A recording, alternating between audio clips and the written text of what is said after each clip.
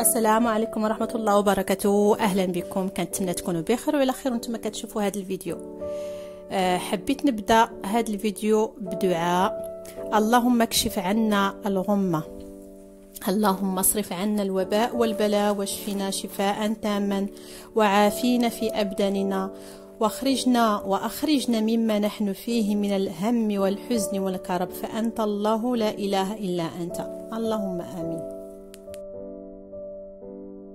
la recette ديال اليوم هي la recette ديال الرغيف أو لا les crêpes كناكلوهم مع la confiture مع السكر مع العسل مع الكراميل وال beurre salé مع الشوكولا يعني بنوتيلا يعني كل واحد باش باش كيبغي يدوزهم. والمقادير ديال لي كريب أو الرغيف يعني في متناول الجميع. غنحتاج 150 غرام من الدقيق. جوج معالق كبار ديال السكر سنيدة أو سكر أبيض أو لا بني اللي متوفر عندك آه، ملعقة صغيرة ديال الملح 50 غرام زبدة مذابه نخليوها تتبرد. وعاد غنضيفوها للخليط. أربع بيضات وفاني نكهة فاني. المقادير غتلقاوهم في صندوق الوصف. كما كتشوفوا الدقيق كنحفر فيه كندير فيه حفرة في الوسط وكنزيد بيضة بيضة ونخلط. من بعد كنزيد آه المقادير الأخرى آه الملح سكر حليب وهنا نسيت آه نسيت موريتكم آه فاني فاني راه في الأخير. وكنزيد الزبدة المذابه اللي خليتها حتى تبرد وهكذا. وكنخلط نزيد الحليب ونخلط نزيد الحليب ونخلط. تنحصل على خليط. وفي حالة إلا عندك دوك الحبيبات في الدقيق في الخليط ممكن تصفي الخليط.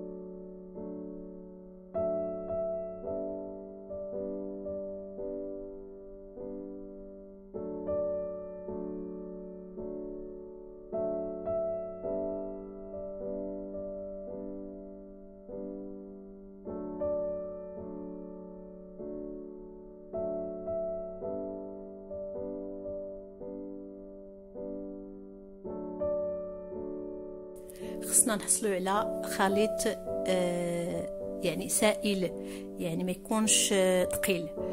هنا راه درت المقلة كتسخن. آه، بالنسبة للمقلة آه، خصها تكون غير لاصقة. وفي حالة أن عندك مقلة قديمة أو لا لاصقة ولا بدا دهنيها بشوية الزيت باش الخليط ولا لا كريب ما تلصقش لك فيها.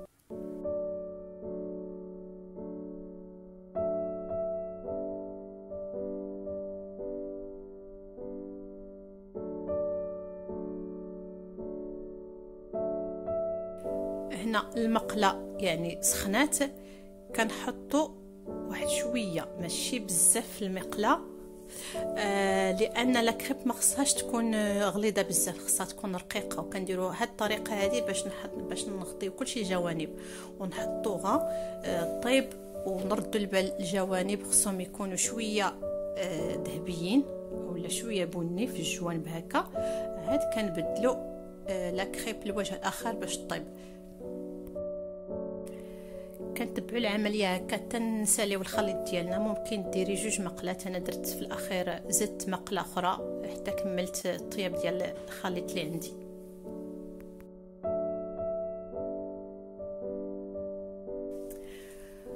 نخليكم تفرجوا في الفيديو تاع الأخير وما تبخلوش عليا باللايكات ديالكم والتعليق التعاليق ديالكم الجميلة.